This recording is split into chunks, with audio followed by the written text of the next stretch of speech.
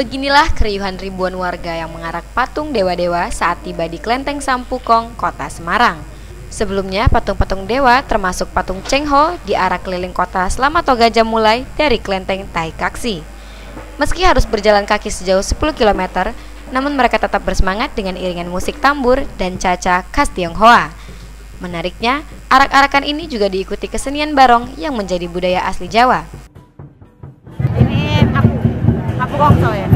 Apa itu? Apu namanya kongso, apu taiji. Mau diarah ke mana? Ya, guys, sapu kong. Ini mikul seperti ini nggak berat? Enggak, udah biasa. Tiap tahun selalu suka kayak gini ya? Iya. Arak-arakan itu pun menjadi magnet bagi warga yang memadati sepanjang jalan untuk menyaksikannya. Mereka pun menyalami tokoh Laksamana Cheng Ho yang datang sekira 613 tahun silam dengan misi perdamaian.